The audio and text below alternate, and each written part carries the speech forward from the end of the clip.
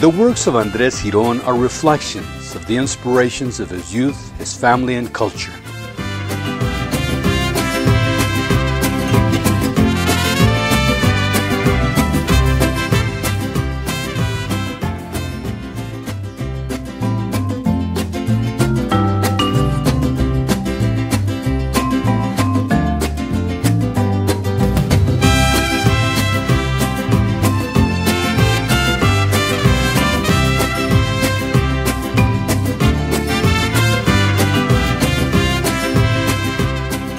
This painting, for example, captures the moment of traditional celebration as friends and family make tamales.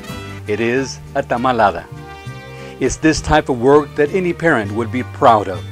Enriqueta Giron remembers when Andres first began to demonstrate his desire and abilities to draw.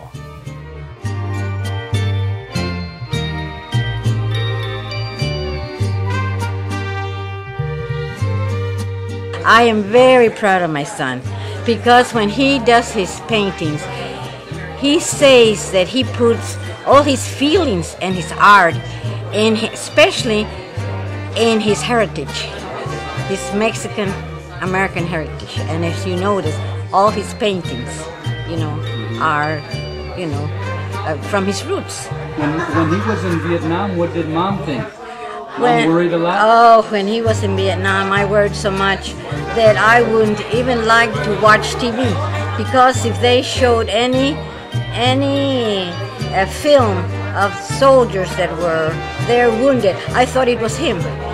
So I so I would just would not see them. So, so his talent began how young? When he was, I would say, about seven years old, he started painting. When he was about and uh, drawing, he used to draw. And you know what he used to draw? I don't know if he will like for me to say that. He used to like to draw girls' legs. Recently, we caught up with Andres at a reception at the home of Lucia and El Madrid.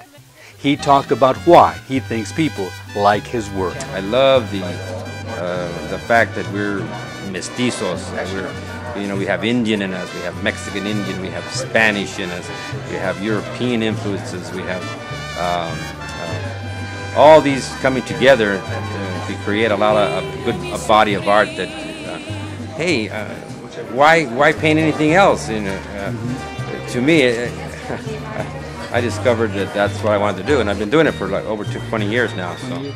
Among Andres' newest pieces of art is a portrait of a scene in Vietnam that was imprinted in his mind for more than 30 years. Well, when I was in Vietnam, one of the things I did every day, and I was a combat infantryman. I was an airborne ranger, 101st Airborne. I mean, we're we were the ones that went into the field, and we were the ones that engaged the enemy.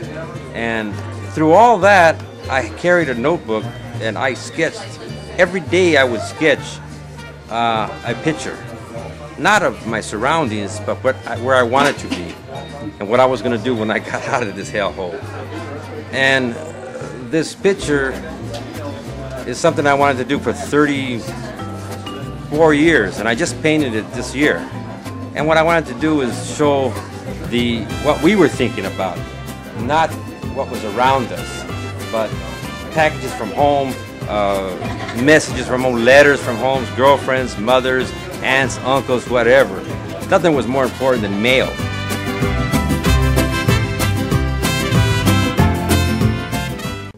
Andres Giron, influenced by family and culture, sharing his legacy through art that promotes the positive. Andres Giron, another example of culture with a cause.